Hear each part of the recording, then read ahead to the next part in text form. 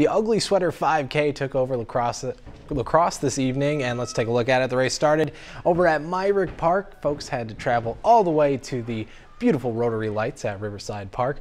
Funds raised from the race go toward Rotary projects locally and internationally.